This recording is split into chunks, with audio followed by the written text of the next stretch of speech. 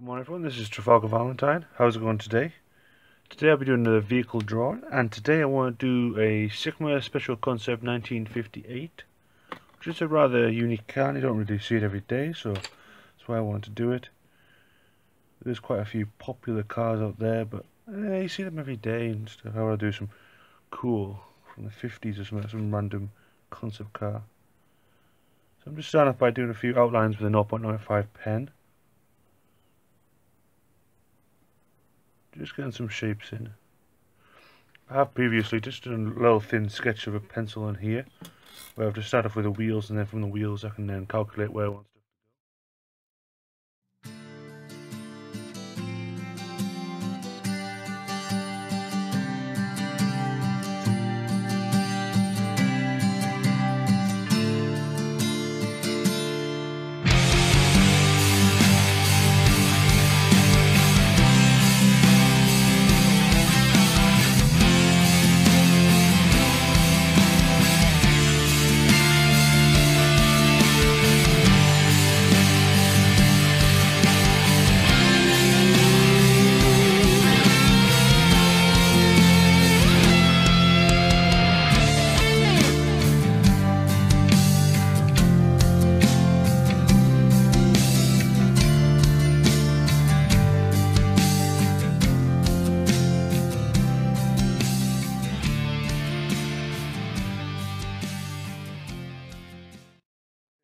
I've done a bit of the outline here, just in black, and just applied some of the dark shadows, just to give you a perspective of where the darkness is. So you can see where the light's coming from the top here.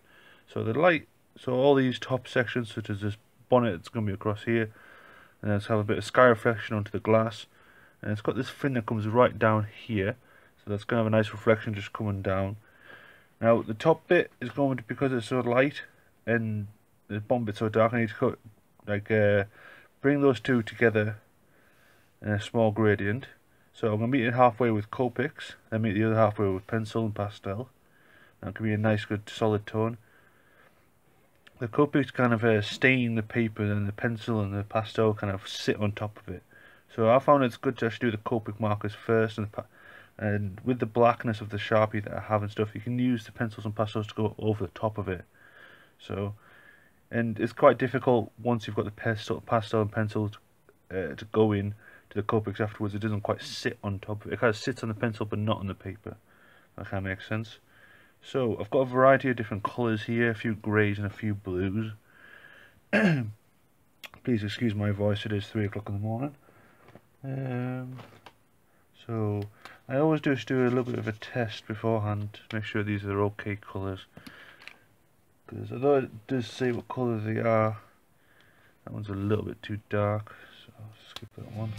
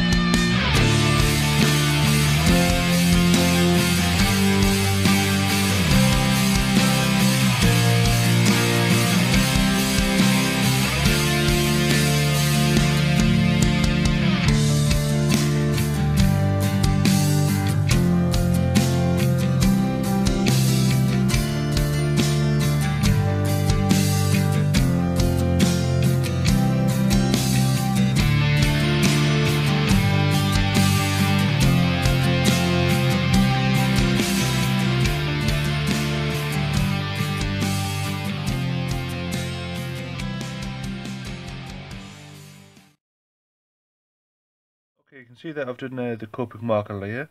It's got a nice um, dark grey area just below here. And you can see with the greys as well, I've made the, uh, the blue stripe that's coming through. Nice and just dark this edge here. Nice little vents and blue inside the wheel arches as well. And just like a little horizon line here. Now to smooth it all out, I'm just going to use some pencils for this. So I've got a bunch of pencils I'm going to use. Normally these are Faber-Castell pencils, but some of them are just little cheap ones. Yeah, let's just do a pencil layer just to smooth out some of these lines at the top here. and do maybe a bit of this windscreen stuff and then after that we'll do the details.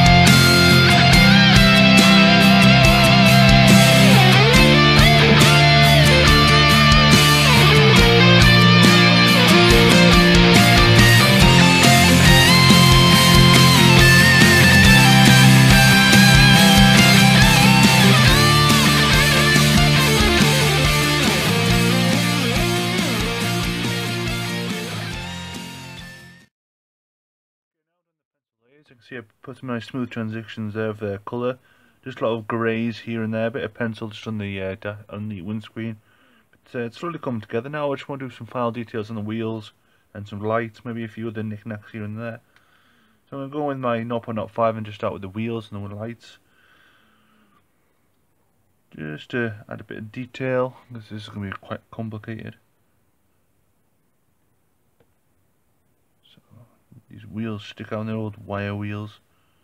As much as I love these old fashioned wheels, they're pain to draw.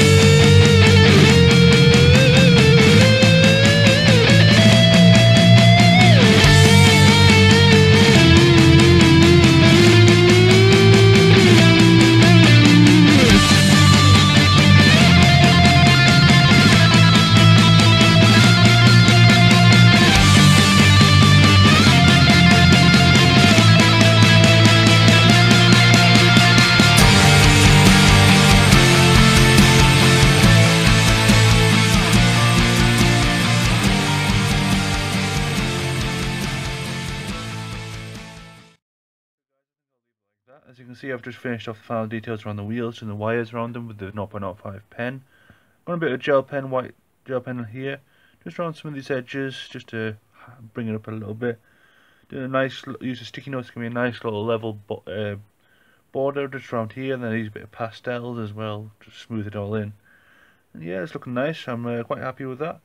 This has been the Simca Special Concept 1958, and uh, well, thanks very much for watching.